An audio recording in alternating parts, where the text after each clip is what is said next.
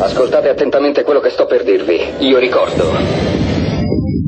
Io ricordo tutto.